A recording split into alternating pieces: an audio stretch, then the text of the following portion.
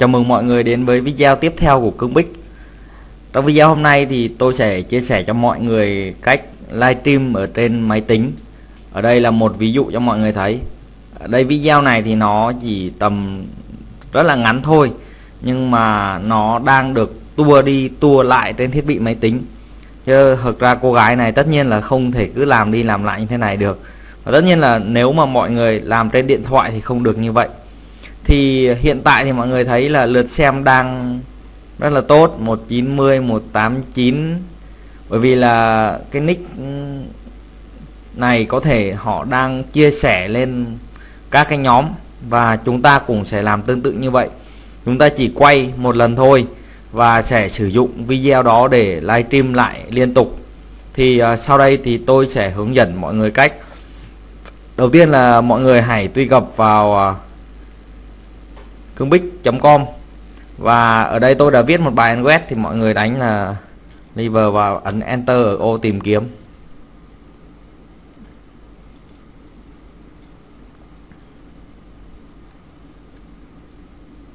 Ở đây mọi người sẽ thấy ngay cái bài uh, tạo livestream. Thì từ cái bài này thì uh, mọi người để mọi người tải phần mềm để hỗ trợ livestream trên Facebook về đầu tiên mọi người phải tải cái phần mềm về. Thì à, đây là phần mềm OBS Studio. Hoặc là rất là nhiều phần mềm khác nhưng mà trong video này thì mình chỉ, chỉ giới thiệu cho mọi người cái phần mềm OBS Studio đâu. Thì cái phần mềm này thì nó sẽ giúp cho mọi người quay toàn cảnh cả hình ảnh cả âm thanh trên máy tính của mọi người tải lên ở trên fanpage hoặc là trên nhóm hoặc là trên trang cá nhân hoặc là trên sự kiện thì à, như đã nói ban đầu video á thì mọi người hãy sử dụng có thể là quay đi quay lại chia sẻ. Và ngoài ra chúng ta có thể là chèn quảng cáo vào trong các video. Ở đây mọi người mình đã để link tải phần mềm ở đây nhé các bạn kích vào tải phần mềm. Đây là giao diện cái trang để mình tải phần mềm. Các bạn nhấn vào download. Tất nhiên là mình sẽ chọn Win 7 rồi. Và nếu các bạn dùng máy Mac thì uh, sẽ chọn cái này. Mình chọn Win 7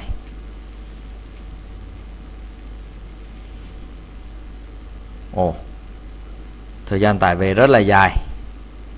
Vậy thì mình sẽ uh, chờ một chút để tải về. Thì uh, để mà mọi người chuẩn bị cái livestream này được á Thì mọi người cần phải chuẩn bị trước cái video Hoặc là chuẩn bị trước hình ảnh Hoặc là cái text mà mọi người muốn hiển thị Mà khi mọi người livestream cái video này chẳng hạn. Thì uh, trong lúc uh, chờ đợi phần mềm tải á, thì à, mình sẽ đi đến cái bước tiếp theo. Sau khi mọi người tải được phần mềm xong thì mọi người sẽ à, cài đặt phần mềm lên. Chúng ta sẽ nhấn cài đặt. Các bạn ấn run.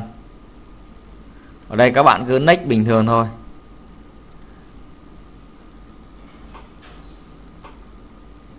Mọi người cứ cài mặc định.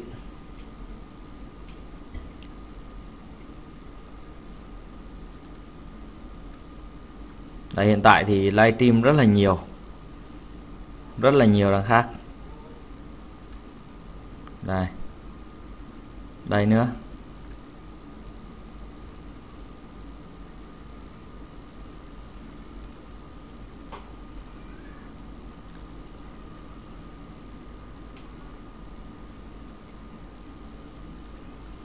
Ok. Thì uh, sau đó ở đây mọi người thấy dấu tích này sẽ mở phần mềm ngay khi cài đặt mình sẽ ok luôn. Mình ấn hoàn thành. Và nó sẽ bắt mọi người đọc điều kiện. Mình ấn đồng ý.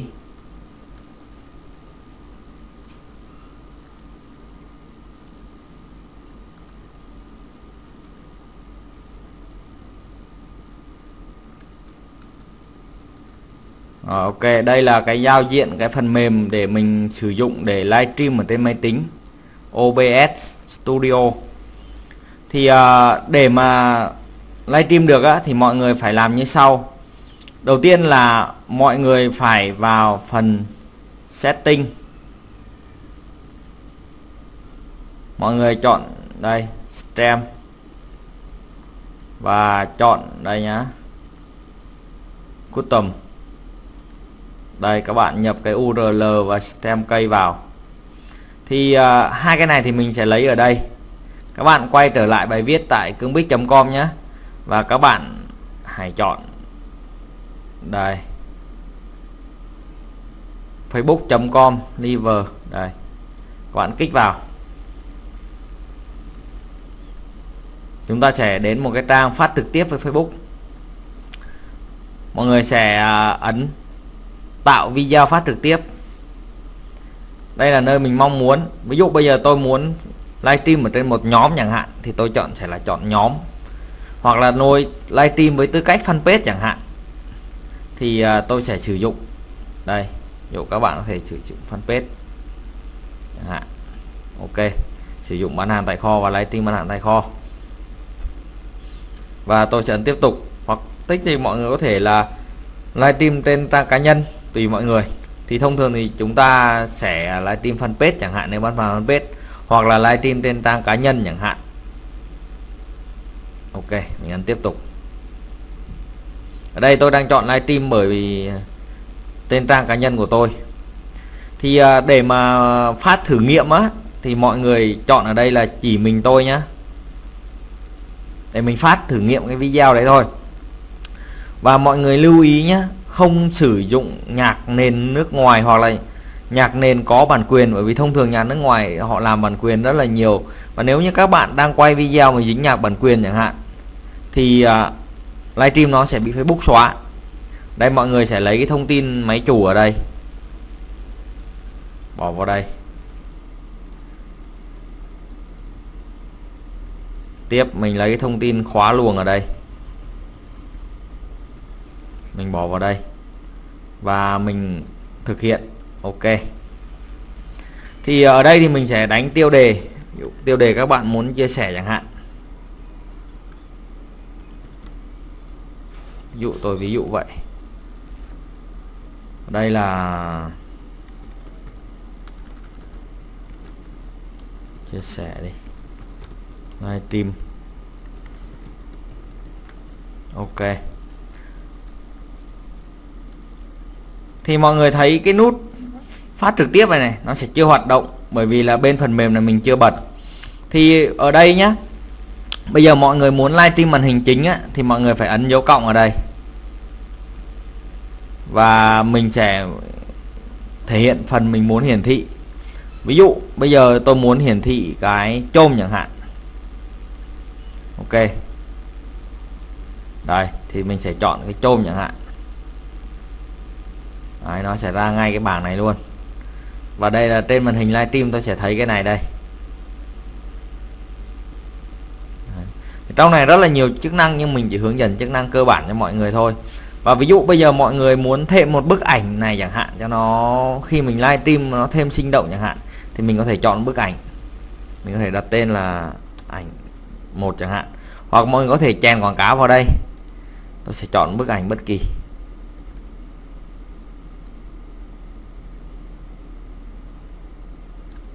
ok ví dụ vậy. Thì mọi người nhìn thấy nhé đây là bức ảnh này. Đấy, mình có thể kéo to thu nhỏ tùy thích. Và đây là cái video livestream mình có thể kéo to thu nhỏ tùy thích.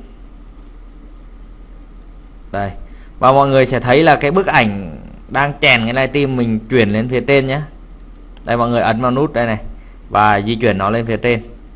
Đấy thì bức ảnh bây giờ đã ở dưới này. Rồi, và cái livestream đang ở đây. Ví dụ vậy chẳng hạn. Tôi để làm một góc ấy chẳng hạn. Đấy. Và tôi chèn tiếp một bức ảnh của tôi này vào chẳng hạn.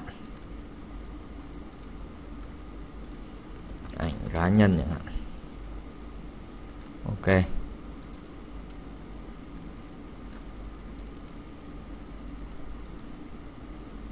Đây thì ở đây chẳng hạn. Đấy. và tôi có thể chèn thêm nội dung chẳng hạn.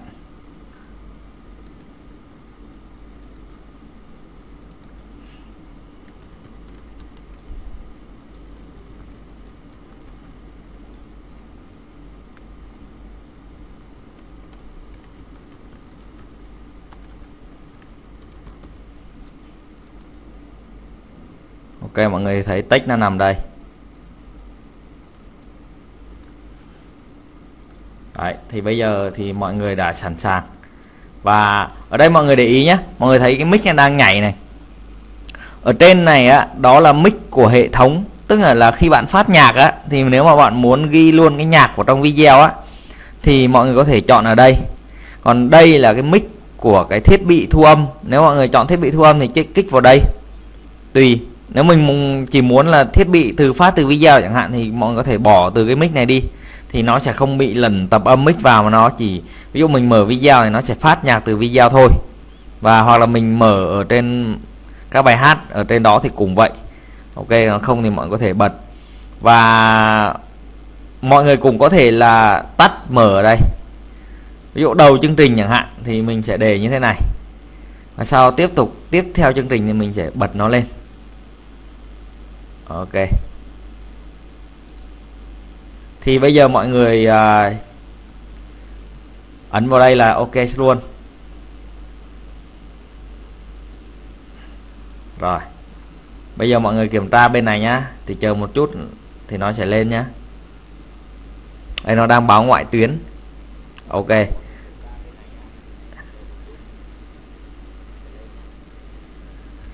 Mọi người thấy nó đang lặp cái luồng video lên nhỉ? Đấy.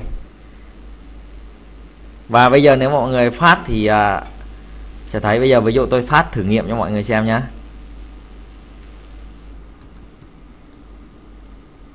phát trực tiếp này.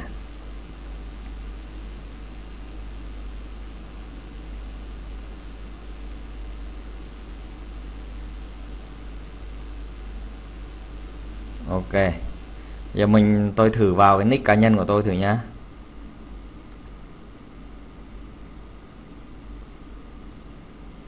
Đây, các bạn đã thấy video chưa?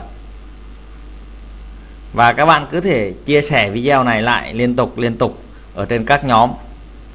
Đây, cái màn hình này nó sẽ hơi trễ một chút. Thì ở trong bài viết thì tôi cũng có viết nếu mà mạng của các bạn nó hơi chậm chẳng hạn thì các bạn nên cài đặt lại một chút thì để cho nó bớt đi bởi vì là chất lượng càng cao thì nếu mạng nhà các bạn không đủ á thì nó sẽ không ổn. Chúc các bạn thành công. À, có khó khăn gì thì mọi người hãy comment à, bên dưới video và like mặt cười để ủng hộ cương bích. Cảm ơn mọi người đã theo dõi video. Chúc mọi người thành công.